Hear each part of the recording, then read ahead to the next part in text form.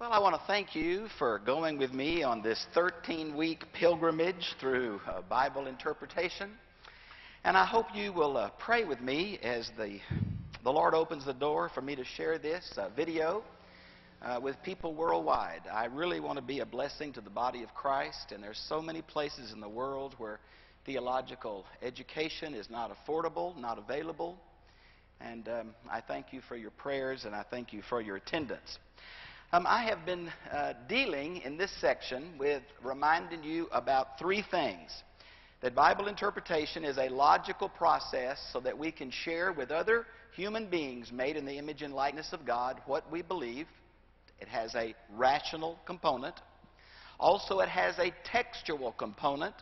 The Bible is the only source for faith and practice, but God gave His Word at a particular time to a particular people in a particular language. And the only inspired in person in Bible study is the original author, so we must put ourselves back into the place of the original hearers to properly understand the Bible and give that textual evidence of what we believe uh, it says and why. And then let other Christians pray about it, evaluate it, and walk in the light that they have. And the third component is, of course, a spirit led teachability. There is no, no spiritual truth available without the presence and power of the Holy Spirit. Amen? Uh, we just cannot do it ourselves. Our education cannot do it. Our gift cannot do it. Our calling cannot do it. We desperately need the author of Scripture to help us understand the major intent of the literary units. And I want to remind you again words only have meaning in sentences, sentences only have meaning in paragraphs, and paragraphs make up literary units. And the best way to follow the original author's intent is at a paragraph level outline throughout the entire book. And if it's a book like Jeremiah, God bless you. But uh, you got to do it by literary units to, to a book like that. Now, I was dealing with several kinds of pitfalls that come to sincere Bible interpreters. So last time I dealt with uh, examples of a presuppositional bias. Sometimes we come into the Bible thinking it can only say this, and we limit what the Bible is trying to say by our preconceived biases. We often call this a, a uh, theological grid. Uh, you come in looking for a certain thing, and the verses that kind of, sort of mean that you pick up on, and the verses that don't, we ignore. And of course, that comes from a, or the use of certain um, metaphors, or, or that kind of thing. So, I think what's helped me more than anything is to understand this added element. Remember, I told you that we must document our Bible understanding from six areas. The historical context of the original author and hearers, the literary context, need to read all they wrote, the grammatical feature, which deals with grammar and syntax, is there anything unusual or markers that tell us what they were trying to say? The contemporary meaning of words, not Webster's dictionary. Parallel passages, because the best interpreter of an inspired text is an inspired text. And finally, genre. Now, I've picked just one or two, um, probably out of my own experience here of uh, teaching these 40 years, but these are ones that um, I can remember still each of these and the pain that I felt connected to them. I remember as a young student on the campus of East Texas Baptist College, and uh, an older an older student came up to me and said, uh, "Do you believe the Bible?" And I said, "Yes." And uh, he said to me, Do you believe the hills skip like rams and the mountains skip like rams? And I said, You know, I think that's poetry. And he said, I knew you didn't believe the Bible. Well, of course, that comes from Psalm 114. My brothers and sisters, to take poetry literal is not to be a conservative, it's to be dumb. If you read into an original text that which the original author did not intend, it is improper interpretation, and we're going into wisdom literature, be it New Testament, James, or Old Testament, we're pulling little pieces out of large units and saying, Thus saith the Lord, and with a broad sword, we are wiping out those who do not happen to agree with us. The second one is the book of the Revelation, particularly in the seals, bowls, and trumpets. Now, I've said to you, and I hope this is humorous because I do not really want to fight about it. If you are expecting to see a pregnant woman run across the night sky chased by a dragon, cancel your subscription to the Sci Fi Channel. You have already been warped almost beyond repair. Please tell me you do not believe that everything is literal in this highly symbolic book. And yet, that's exactly where our interpretation is falling. We're treating Revelation as if it were the historical narrative somewhere in the book of Acts. It's a highly highly symbolic, using Jewish interbiblical literature and highly symbolized uh, uh, numerical symbols, and we're taking it literal. The third one is, of course, a parable. I hope you know that Luke introduces parables by a little phrase and a certain blank. A certain man went out to sow. In chapter 16, there's a, there's a series of five parables in Luke 15 and 16. The chapter divisions of the Bible, like the verse divisions, are not inspired. And these are related parables to a group of Pharisees. That's how you always look. You look at who it's spoken to if you can, and then you look at those who heard it and if they, they say something about it. Now, I have heard, and you have heard, of course, this is the parable of the rich man and Lazarus. And many people have described this as a heaven and hell. There's just one problem. The text itself says that the rich man is not in hell, Gehenna, he is in Hades, the holding place of the dead. This is not, this is not the eternal resting place of saints. This cannot be used as a way to describe heaven and hell. I promise you, nobody is in hell tonight. Now, hell may be prepared. It wasn't prepared for you, by the way. It's prepared for the devil and his angels. But those who do not believe, not till after the great white throne judgment will anybody be in Gehenna. And yet we have let preachers take King James because it translates Hades in Luke 16 as hell and preach sermons on what hell is like. That's just not true. Now, the second one, number D here, is the misuse of cultural idioms or figures of speech. Now, and yet the Bible does, and we turn it into literal. So I want to show you three of these. You know, years ago, I haven't heard about so much lately, but years ago there was a group, um, Sun Myung Moon, it was the Moonies we call them, would send their recruits out to college campuses, and they would say, Do you believe the Bible? And the students would say, Well, yes. And they would read a text that says, Unless you hate father and mother, you're not worthy of me. Now, if you believe the Bible, you break off contact with your family and follow us to our camp. And young people, sincere, naive, gullible young people, took that literally and went into those movements. Now, the word hate, and I've listed several texts for here, mostly going back, starting with Jacob's two wives. Uh, my New American Standard uses translates this word unloved. The Hebrew word is the word hate. Now, he did not hate Leah. She was just not his favorite, right? So it's an idiom of comparison. Now, I've marked several places. Malachi also, talking about Esau. Uh, God does not hate Esau, but Jacob was the chosen line.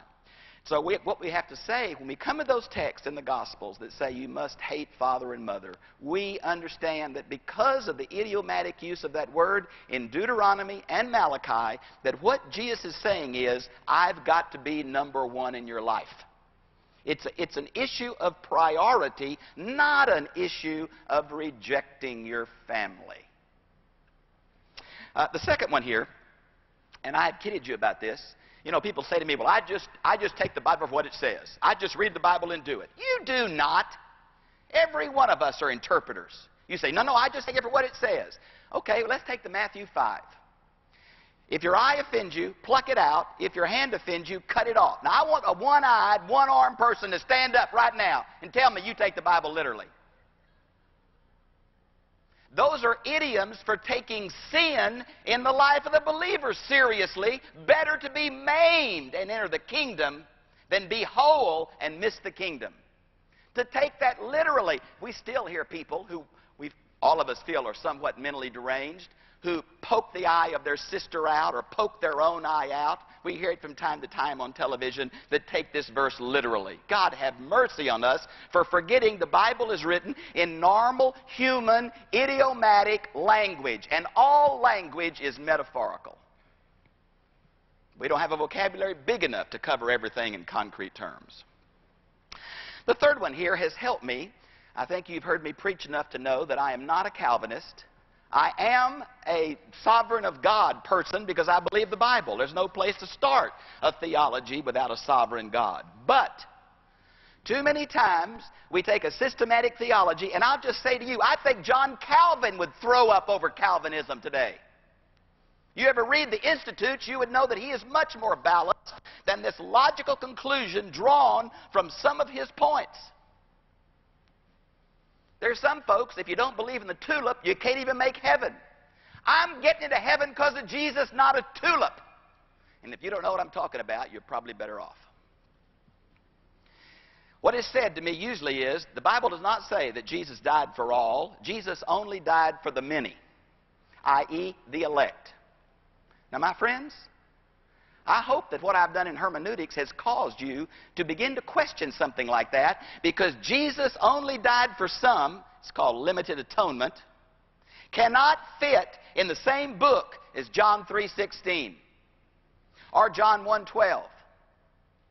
Now, if you I want to turn your Bibles to this. I don't want to just talk through it. I want you to see it with me. Would you turn to the great passage on substitutionary atonement in Isaiah 53? Now, really, this text begins in 52, 13, but most of us usually date just 53.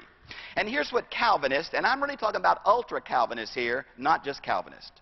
I can live with Calvinists and love them to death. The ultra ones give me a hernia. In verse 11 and 12, would you look at the fourth line of 11? My servant will justify the many. Will you look at the fifth line of verse 12? He himself bore the sin of many. And what they say to me is, see, it doesn't say he died for all. It says he died for the many. Now, wait a minute. Same context, same uh, servant song. Would you look at verse 6? Look at verse 6, line 3. All of us like sheep have gone astray. Each have turned to his own way. But the Lord, Yahweh, has caused the iniquity of us all to fall upon him. Now, what I've been saying, and I hope you hear the logic behind this, you cannot let one inspired verse negate or diminish another inspired verse. You can't say, I like this verse better than I like that verse. Nobody puts you in which verse is better committee. You cannot allow a systematic theology created by human to skew text to one position when the Bible itself speaks with several voices. Now, this is not the only place this is done.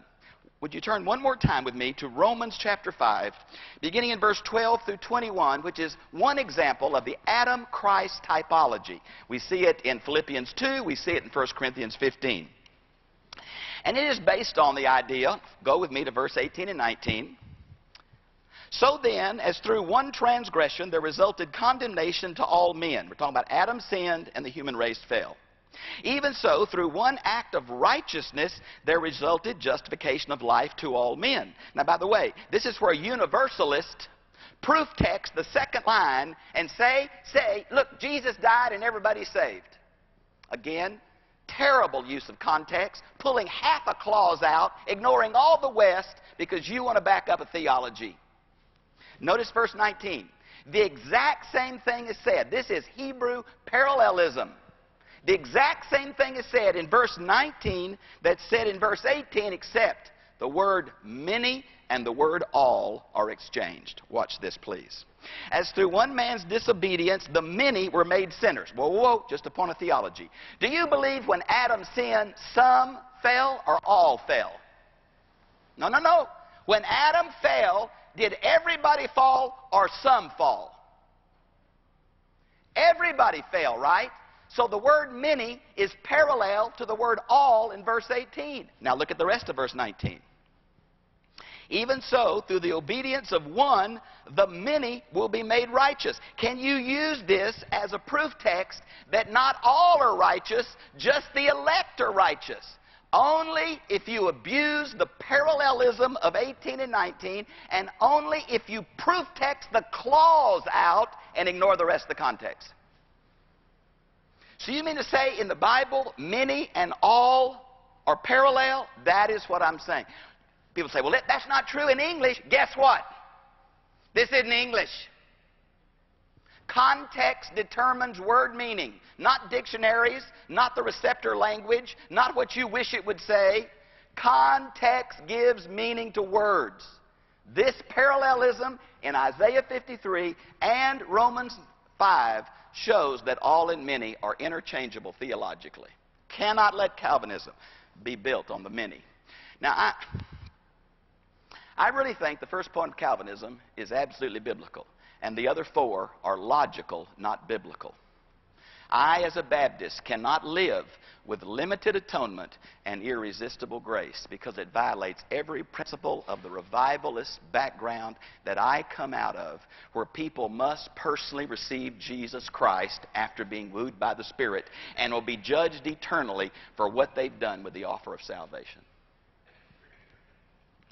Would you go to an oversimplification of truth? Here again, this is kind of a uh, this is kind of a variety of proof texting. It means we pull one truth out of the Bible and ignore other Bible truths, and yet claim that our one statement, by implication, is all the Bible teaches. Just a couple. God is love. I forgot the name of that Indian teacher up there in Washington that said, Yes, the Bible teaches God is love. So let's all go make love together. Well, it's very popular theology. The problem is, God is love. But if you have not heard the first few chapters of Romans, God is distressed at the sinfulness of his creation. You can't preach God is love without preaching the judgment of God. They are twin, two sides of one coin. Just like we wouldn't want someone always preaching judgment, we can't allow someone always preaching love. There's more to the gospel than love. There's a couple more. What about saved by grace? Well, I believe that, absolutely. But isn't it true that although we're saved by grace, not from human merit, we must receive the gift of God? Just think of Ephesians 2 8, 9, and 10. One sentence in Ephesians 2, verses 1 through 10. For by grace have you been saved through faith. Not saved by faith, saved by grace, but faith must receive it. And then notice the disclaimers. Think about this verse. By grace through faith, not of yourself, gift of God, not of works, lest any man should boast. You can't let someone just preach grace, grace, grace, grace, grace. there's almost a, a, a whole theology now called super grace. So once you trust Christ, no matter what you do or how great you sin, you're, you're going to always. I do not believe in once saved, always saved. If you trust Jesus Christ and the rest of your life is a godless disaster of rebellion, something's wrong. By their fruit ye shall know them. Good fruit does not grow on bad trees. We have overemphasized grace and left off the human, necessary, commensurate responsibility of initial and ongoing repentance and faith. I do believe in the security of the believer. And that's the biblical definition of believer and the present tense verb that emphasizes continues to believe. You say, I don't like that. That's because you've heard only Romans 4 all your life. I challenge you to go home and read James 2 14 through 26. Another one, maybe or two. Well, let me drop down um, to um, Salvation is free, number three. But I, I promise you, this demand for good works is, is there. I've given you the text. I hope you'll look at it. Remember the last point of Ephesians 2, the first sentence is 10. We always leave that out. We always leave that out. Baptists love to preach on Ephesians 2, 8, and 9, and always ignore 10. You were created in Christ Jesus for good works, that it was foreordained you should walk in them. I want to remind, remind you of the predestination verse of chapter 1, verse 4. He, God the Father, chose you in Him before the foundation of the world. What? What was the purpose of Him choosing us for? That we should be holy and blameless before Him. The call of Christianity is not a call to go to heaven when you die. The call of Christianity is Christ likeness now, so others can go to heaven with you when you die. It's a perversion, individual perversion of the gospel, what American individualism has done to turn salvation into a ticket to heaven instead of into a daily, intimate, personal relationship. That gets more and more like him as the years go by. I'm over it now.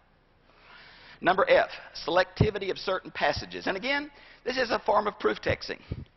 How many times have I heard TV preachers, particularly, say, whatever you ask in Jesus' name, you'll get it? And they got some verses. I hope you'll look at the verses here. John 14, 13 and 14. John 15, 7. John 15, 16. John 16, 23. Those all say, whatever you ask. But they also add whatever you ask in my name, which is a whole other Hebrew concept of being in the character of Jesus before you ask. And then if we go beyond that, there are so many other texts like Matthew 7, 7 and 8. Keep on seeking, keep on asking, keep on knocking, and it shall be open. Or what about the James text, James 1, 6 and 7, where it says you have to pray without doubting? Or what about the James 4 3 that says you can't pray with the wrong motives? Or how about the first John text that talks about you have to pray in you, you obey is how you get it? Or the first John 5 text, whatever we ask according to his will. No, no, no. We just throw all that out and quote one verse out of Jesus and say, Jesus said, whatever I ask, I get. The worst thing God could do to most of us in America is answer our prayers because we're asking for all the things that would pull our heart away from Him. We're asking Him to deliver us from persecution and problems and suffering, the very thing that made Jesus, humanly speaking, perfect. Hebrews 5 8.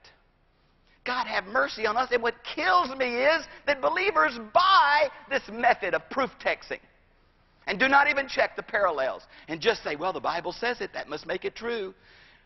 If the Bible says it, we take it seriously and find out what else the Bible says on the same subject. How about long hair? I remember a church in Oklahoma called me one time and said, We've got a question for. I thought, what could they ask me? I'm in school, about to graduate. Could they ask me, do I believe the Bible? Could they ask me my view of self? What are they going to ask me? They said, Do you have long hair? I said, No, I don't have long hair, but that's your only question. We would kill each other. So Jesus can't preach at your church, huh? John the Baptist can't preach at your church. Holy moly, what are we doing? Crew cuts are a sign of the kingdom? And you don't know your Old Testament well enough to know about the Nazarite vow number six for men and for women? There's an abysmal ignorance of the Bible among people who claim to be people of the book. That's why we kill each other over these proof texts out of King James. Not you, but the Baptists in California. How about women keep silent in the church? God have mercy on us. We're more like Muslims than we are New Testament Christians. Boy, we love 1 Corinthians 14 34. Women keep silent, forgetting there are three groups they're told to be silent in that context. Three groups, and we always pick on the women. Then, five verses later, in the same book, in the same literary unit, to the same church, it says, Do not forbid them to speak in tongues, and we ignore that. And we're biblical. And we ignore 1 Corinthians 11 5, where it says, When women pray and prophesy in public worship, let them cover their head. Now we've got an affirmation in 11.5, a prohibition in 14.35, and groups just pick the one they like and say, God said, and ignore the other group. I want God to be true and every man to be a liar. I want the Bible speak and not my denomination, not my personal preferences, not my personal experiences. What's authority around here? What you're used to or the Word of God? Well, the problem is, it's what you're used to.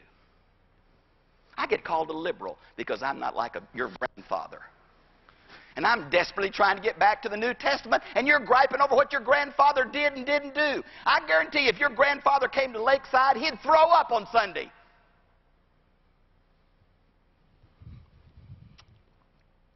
About speaking in tongues is passing away. Based on 1, 1 Corinthians 13 8. because there's a different verb used for tongues than there are for knowledge and wisdom. Not realizing that the whole context says everything but love is passing away. There is no emphasis here on tongues passing away first, unless you do a study in the etymology of the original verb, which nobody does and which is inappropriate for New Testament Greek studies. Because I guarantee you, don't know the origin of most of the words you use either. How about food laws? I was just entering a large church in Louisiana. I mean, a large church. They had a guy come in and teach that if you would keep the food laws and wash your hands a certain way, you would live longer. And those Louisiana women bought it. I said to them, of all the people in the world, you shouldn't have believed this. But if you do, I want you to pack up all the gumbo you've made frozen. I want you to mail it to me along with your lobster and catfish. Just send it right to my house. Because I know my Bible well enough to know that Jesus said it's not what goes in a man that defiles him, it's what comes out, parenthesis, thereby negating the food laws. You're not right by what you eat or don't eat. And yet we let people say to us, oh, oh, you ate a catfish. Well, send me to hell. Just send me to hell. What's the matter with us? We're drug around by the nose by King James proof texters that do Old Testament texts and don't know that Gentiles are not bound by the Old Testament law.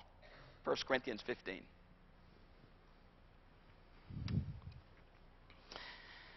Let me deal with the, uh, the crucial element of salvation. I, skipped the one on trichotomous. I just don't want to holler over that. How many times have I had Church of Christ tell me, turn to Acts 2.38. And then tell me I'm not saved because I wasn't baptized by the right formula. So I'm going to get to heaven, and my daddy's going to say, you know, I know you love me, I know you trusted Christ, but you didn't use the right formula, so you go to hell. Does that sound like your daddy?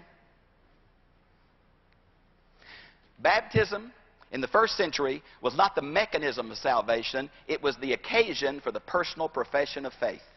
They did not have churches. They worshiped in forests and caves. And when they made a public profession, it was at their baptism. Many of us believe there was a standard formula. I believe Jesus is Lord. Had nothing to do with the formula by which they were baptized or the character or theology of the one baptizing them. It has to do with the heart of the candidate. That's evangelical theology. How about uh, how about the charismatic emphasis? If you don't speak in tongues, you're not really in. Charismatics normally like me because um, a, i believe in the gifts of the Spirit are functioning. Until they say, Now, are you filled with the Spirit? By which they mean, Do you speak in tongues? And I say, No, I speak Texan. East Texan, maybe. And then suddenly they quote the Samaritans. Acts 8, the Samaritans. Philip preached, they trust Christ. Then Peter and, and John came down preach again. They all received the, the, the, the speaking in tongues. And see, there it is right there. Don't you know that Acts, Luke records what happens, not what should happen? And if you take all the conversions in Acts and you list the order of what happened, none of, none of them are the same. That Acts is historical narrative, and it's not meant to base theology on historical narrative. And so we can't let somebody pick 238 and somebody pick chapter 8 with the, with the Samaritans. And then what, what are the Baptists like in Acts? Where is our proof text in Acts? Philippian jailer. What must I do to be saved? Come on. Believe on the Lord Jesus Christ. No mention of repentance. And we just pull that out and say this is the plan, the standard by which if you don't fit, you're not in. Holy spit, is that dumb. And yet we are grabbed by that. Look, it says it right here. And then, you know, I, how many times have I been to Baptist testimony services where somebody says, Oh, I was sick, and Jesus came in and touched me, and now I'm healed. And I'm thinking to myself, I have been sick as a dog, and I've never seen the boy. So I must not be saved. I haven't been touched, so I'm not saved. Deliver me from Baptist testimony services. Give me a New Testament. If it happened to you, I'm happy for you. It doesn't have to happen to me. Well, I'm kind of agitated. Majoring on minors. To whom and what did Jesus preach while he was in Hades? 1 Peter 3, 19, 1 Peter 4, 6. I should know. And what bothers me is you think you do. How will the earth be destroyed by fire? 2 Peter 3, 9. Won't be water, be fire. Well, it's thermo. Oh, give me a break. What is the sin unto death? First John. Well, probably the same as the unpardonable sin, which I believe is not saying something one time by accident. How many drunks have called me at 3 o'clock in the morning on a full moon? I always tell them, if you're sober by 8, call me again at the office. The unpardonable sin the sin of death is probably because First John's written to Gnostics and the unpardonable sin is written to Pharisees who heard the gospel clearly over and over and refused to respond to it. I submit to you, those two have to do with a clear understanding of the gospel and a personal rejection again and again to the point where light becomes dark and there's no ability to respond. This next one you're not going to like. I've just put a five hour summary of my view of the revelation online this week because I knew I was going to deal with this. Several of you asked me last week when I mentioned that I was a post tribulationist, that I believed the church would go through the tribulation. About four of you said, I never heard that. Well, you don't read very much. We buy one stinking commentary on Revelation, and it's logical, and don't know that if you bought 50 of them, none of them would agree. But you bought one, and it's your favorite teacher, and now everybody doesn't believe the Bible if they don't agree with you. The millennium is a non issue. Why would I believe? Now, this is all on tape. If you want more than this, it's on tape. It's in my commentary online free. You got five hours of video. Don't be chewing on me till you look at it, then give, email me. Why would I let six verses, three chapters from the end of the Bible, that's never mentioned by Jesus once, never mentioned by Paul, never a hint in the Old Testament, why would I let six verses, three chapters from the end in a highly symbolic book change my whole view of the Bible? Particularly when the number itself is one of these key numbers, tripled, which is the Hebrew emphasis of the, of the superlative. Now, if you're a millennialist, God bless you. There are some great, wonderful, godly people believe that. But please don't consign me to the nether regions because I do not agree with you. The church has never agreed on this. We're always saying, oh, the Lord's coming soon, the Lord's. We've been saying that for 2,000 years. We sound like whistlers in the dark. Every generation interprets Revelation by their own morning newspaper, and every one of them have been wrong. If you want to hear another view on Revelation, I hope you'll get this five hour summary and take a peek. And then pray for me. Somebody said, What if you're wrong? You cannot imagine how fast I can repent.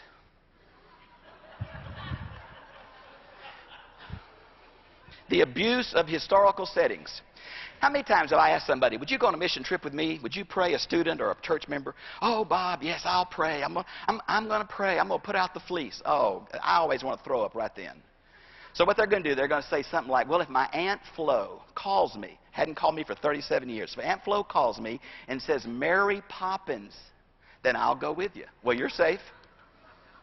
Don't you know that Gideon's fleece is an act of unbelief by Gideon? In the presence of four or five supernatural acts, Gideon still does not believe and respond. The Bible records that which it does not advocate. Besides, if you don't have a Pier 1, you couldn't find a fleece.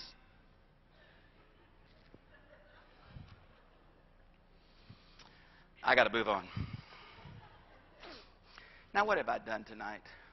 Brothers and sisters, if you think that I think I know in these issues, you don't understand my heart. I'm trying desperate to show you how proof text oriented literalistic we are in our interpretation. And I do not want you to agree with me, but I want you to know that you don't know everything either. All of us see through a glass darkly. All of us are affected by our parents and our denomination. None of us are objective readers of the Bible. We do not have the right, just because somebody says something we never heard, to call them some bad word. We have the responsibility to check their biblical evidence and be willing to follow the Bible wherever it leads.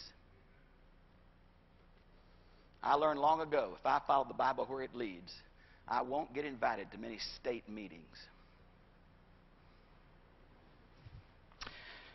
About page 45, Practical Procedures.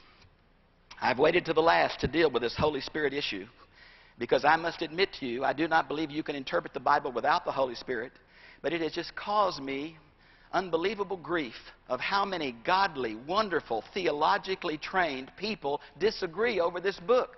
I heard D.A. Carson say one time, I thought it was a penetrating quote, and he said, For us to claim the Bible is inerrant, and then we can't agree on what it says, is self defeating. We're willing to hold this book up and use all kind of adjectives the Bible never used for itself, divide our church, split our church, put ourselves in different camps over issues that aren't that clear. Sometimes not even present in the Bible. Why is it that we disagree so much? Well, I want to make a few comments and see if you can follow me in this. Number one, I think every time we pick up this book, we need to pray. Us praying says, God, it's not my personality, not my call, not my education. I can't do this on my own. I'm not coming this book with what I believe.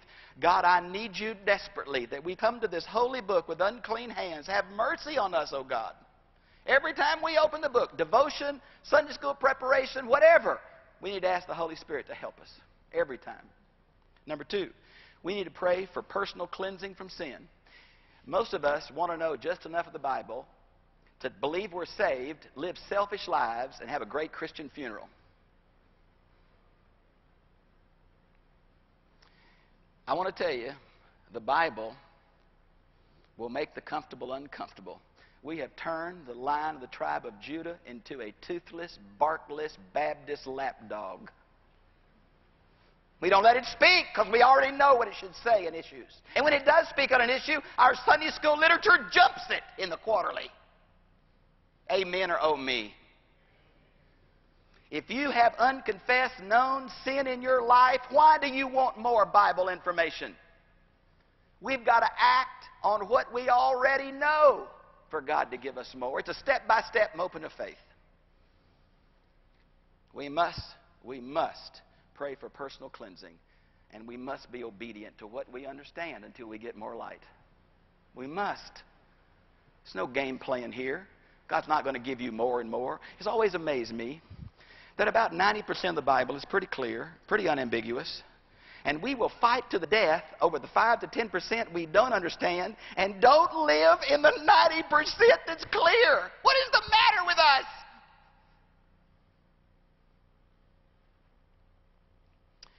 We need to pray for a greater desire to know God. I think of Psalm 19, 7 through 14. I really think of Psalm 42. As the deer pants after the water brook, so does my soul pant after you. Why do you want to know more of the Bible? You just want to show off in Sunday school? You just want to win Bible trivia with the in laws? You just want to confound the Methodist neighbors? What? Why do you want to know more? If not to give yourself to the God who created you. The more we know, the more godly, self sacrificing, self giving lives we ought to live. God doesn't want degrees, He wants servant leadership. Number four, we need to apply new insights to our own life immediately. Now, I would say, I tell students this if you come up with something that nobody in the history of the church has ever seen, take two Tylenol PM, take a nap, and read it again. If you have come up with some interpretation, go to people you trust. Go to a pastor. Go to a professor. Go to a Sunday school teacher. Go to a family member. See what they think before you act some crazy way. But we must apply truth immediately. If you're asking God for more information, He's going to see what you do with it. He wants to know what you'll do with it. I want to quote H. H. Rowley. It perceives that no merely intellectual understanding of the Bible, however complete, can possess all its treasures. It does not depreciate such understanding, for it is essential to a complete understanding. But it must lead to a spiritual understanding of the spiritual treasures of this book, if it is to be complete. And for that spiritual understanding, something more than intellectual alertness is necessary. Spiritual things are spiritually discerned, and the Bible student needs an attitude of spiritual receptivity, an eagerness to find God that he may yield himself to him if he is to pass beyond his scientific study into the richer inheritance of this greatest of all books.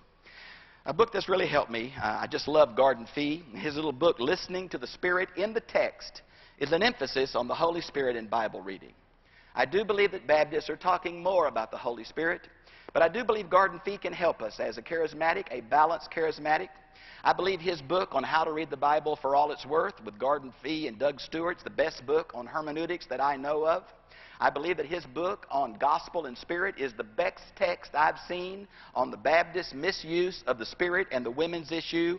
And I believe this listening to the spirit in the text is a cry from a Pentecostal of why don't we talk about the spirit more in Bible interpretation. Now, the logical process, and what I'm going to do in the next just a couple of minutes, and I, I know I've got about five more minutes, and I think I can be through in about 10. So, uh, if you, there shouldn't be a chicken in the oven at night. So, the logical process. I've tried to take the Antiochian school of biblical interpretation from Antioch of Syria, the philosophy uh, from Chrysostom, uh, Theodore of Mopsuestia, uh, those guys, and put it into a logical process that modern Americans can follow. It's not my plan, it's not my approach. It is an approach of the ancient church reacting against the allegory of Alexandria, Egypt. Number one, allow time to read the whole book. A part cannot mean what the whole book is not talking about. We can't make one paragraph go off on some subject that the whole book is not dealing with. And we never can let a verse become the basis for a doctrine. Paragraphs are the smallest literary unit with meaning. That's why English teachers tell us every paragraph has a topical sentence or a topical truth. And everything in that paragraph delineates, explains, defines that truth. We need to start learning to interpret by paragraphs as the minimum of Bible information. Read the whole book at one sitting and say to yourself, what is this whole book about? What kind of literature is this? And then find the text that gives some evidence of what you think.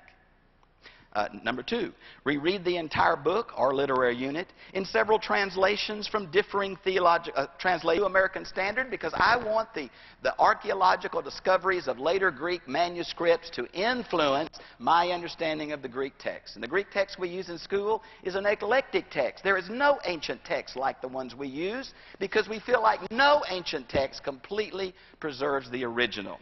So, a word for word with a dynamic equivalent. And I would say if you would read New American Standard and NIV, now listen to me. I don't care if you read, if you know Greek or Hebrew or not. When New American Standard and NIV disagree, you got to go to the commentaries because it's a problem. It may be a manuscript problem, it may be a theological problem, it may be a word problem. There's something up. Then you got to go to a more technical level to find out. So, as Sunday school teachers, I hope you have two translations to look out of. And don't look at the footnotes until you read the Bible. Somebody said, wow, the Bible throws a lot of light on the footnotes of study Bibles.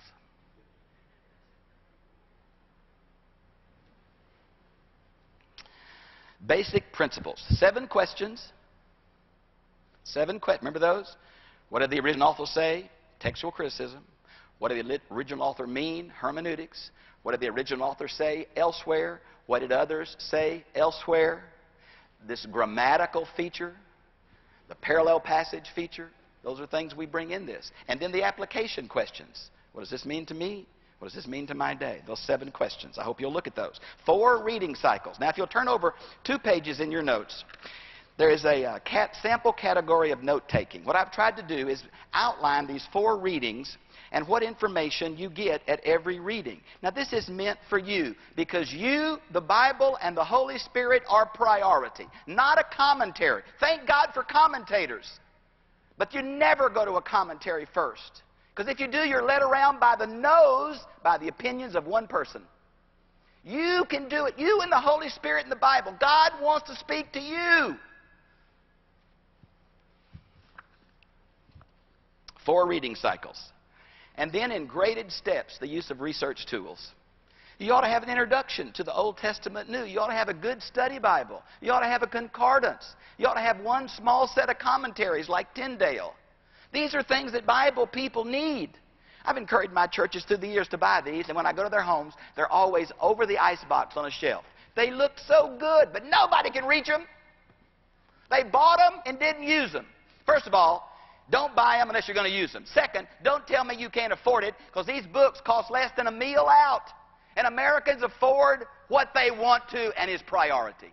If a book can make you a better interpreter of the Bible, you're going to not buy the book? I don't believe that.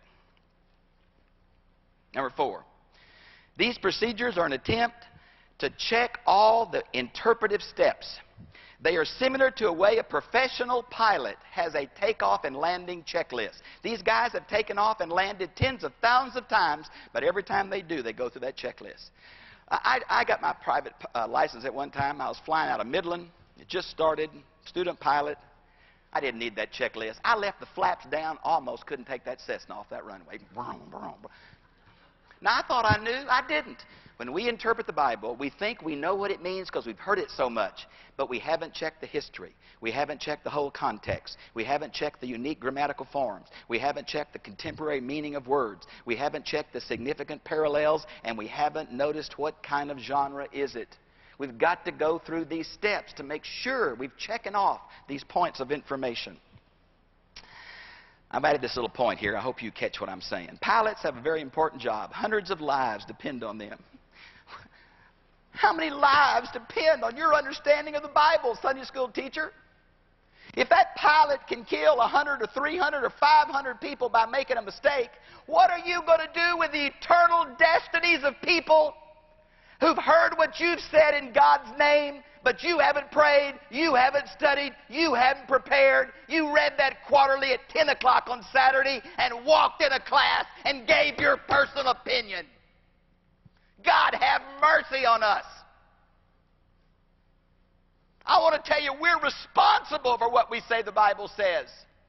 And we've better paid the price to be willing to stand before Him. Now, we're all, we're all make mistakes. We're all wrong. We all change our opinions. I understand that.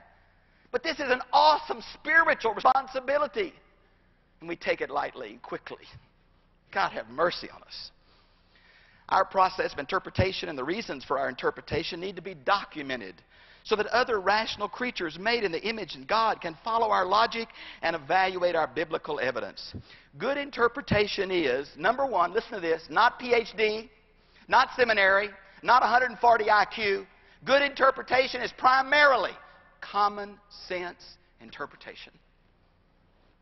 Common sense is the big factor. Number two, textual. Show me where the Bible says what you just said. That's not a bad question for anybody who claims to speak for God. Number three, logical. Explain to me what you mean and why. Show me the text. Spirit guided interpretation. Did you pray before you? Are you walking the light you have? Are you living holy lives? Biblically consistent interpretation. Have you checked the parallels? Are you sure you're not just quoting James and forgetting Paul, or quoting Paul and forgetting Isaiah? Now, on the next page, Roman number two, good note taking. This is just those four reading cycles with an explanation of how each reading cycle should gather certain information. Just quickly, you read it once to get the big picture. What's the whole book about? Show me the verses that point toward that and tell me what kind of genre. Reading number one. Second, go back in there and try to tell me what are the, what are the main subjects. Outline the book. The main subjects. Number two. Number three, tell me the historical. Who wrote it? Who did they write it to? Can you tell why they wrote it? When they wrote it? Where they wrote it? Usually this all comes in the first three verses. But it's very important to know who wrote, why they wrote, where they wrote and yet we skip that. Then the fourth reading is a little more technical, but it looks for special words, difficult words that we have to check on, parallelisms, repeated phrases or words. These are things you get used to after doing it a while, but it becomes the things on which Bible interpretation is made. Uh, Roman numeral 3, I would say there are several books that every sincere uh, Bible interpreter uh, ought to have. I think you ought to have a concordance. Um, I think you ought to have an introduction to the Old and New Testaments. Um, I think you ought to have a good study Bible. And what I've told you, a Bible of another translation theory, no matter which one you have and carry to church.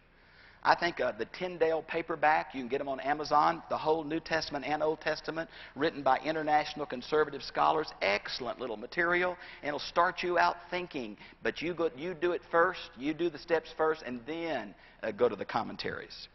Now, what I'd like to say to you is that uh, this has been a long trek emotionally for me and you, I know.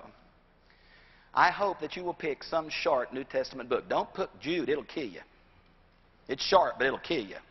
Pick Colossians, pick Titus. Um, try to read it all at one time. Try to run through these four cycles. Uh, try to use the research tools at graded steps. I think you'll be amazed at how much you can pick up. And so I say, you need, uh, however, whatever you have. If you have young children, it's hard to do. Maybe you, I know some women, the only quiet time they have is in the, in the bathroom. Take it to the bathtub, sister. Do it 15 minutes in there with the bubbles. Uh, maybe you can only do it on Saturday. Maybe you work so much you have to take it to work and do it during lunch. Find a time when you do it, how often you do it, and where you do it. It's not the issue, but that you make a commitment that you're going to become a Bible reader. And you're going to set aside a quiet time.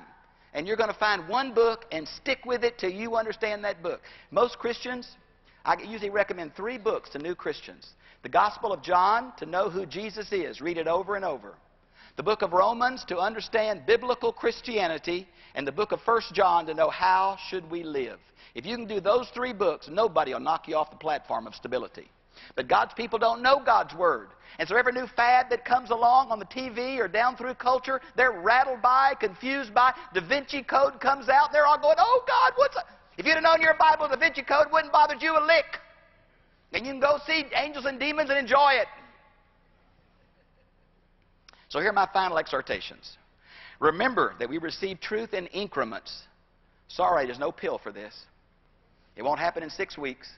If I see you again in six years and you try this, you'll hug my neck. I can't tell you the number of people across the years who years later have said, Bob, thank you. You freed me. You gave me a track to run on. You protected me from all this weird stuff. Well, I hope I do. I'm sure praying about it a lot. I sure want to give it to you, and it's not from me.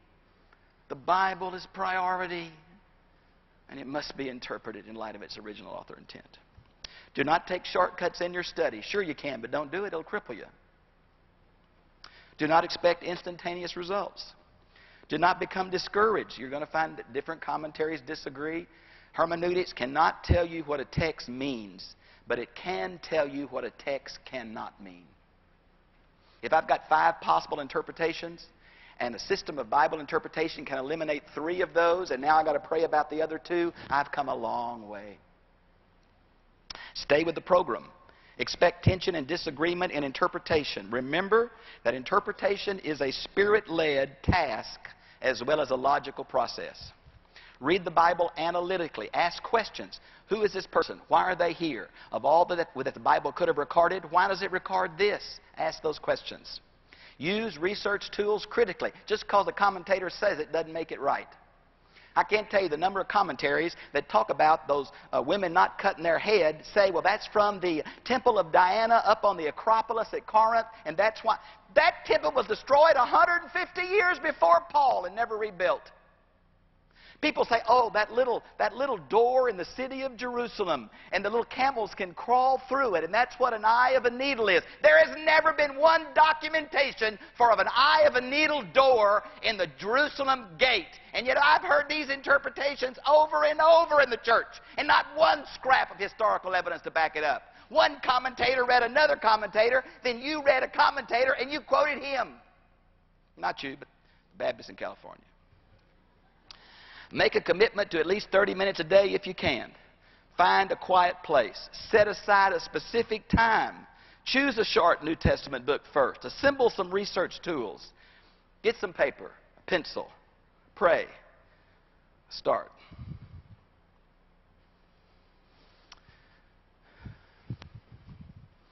Our Father, I do not know why we disagree so much on the Bible.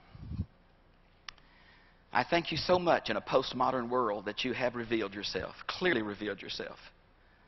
I thank you that we're not left to just speculation and whim and personal biases, that there really is a revelation There are some absolutes. Thank you, Lord. Thank you. Even if my brother and I disagree, we still know it's you speaking, and we must walk in the light we have. I thank you for the pluralism in your church, and I pray that we can reach those that our personality will attract and identify with. Forgive us, God, for passing on just what we've been told and never check it. God, forgive us for being trapped by denominational indoctrination and never going to the Bible first and never asking someone to show us in Scripture where they get this. God, we pray if we're going to be people of the book, that we'd be the people of the book. And I thank you for these who've come week after week, have been willing to let me uh, rattle their cages and, and tear up some things they've been comfortable with. But God, I tear up these things not for people to agree with me and not to be impressed with anything I do, but to develop a hunger for you and for your book that we can stand in a culture like ours with information on how it is that we should live for you. Lord, have mercy on us. Lord, please have mercy on us. I know you're speaking. I know your Spirit's present. And whatever barriers there are in our heart, that we cannot hear clearly, forgive us. Thank you for working with us. Keep us together as your family. We love you. We love your Son. We love your Spirit. And we love your book. And we want to love one another more and more. In Jesus' name, amen. Thank you. Thank you so much for coming these weeks. God bless you.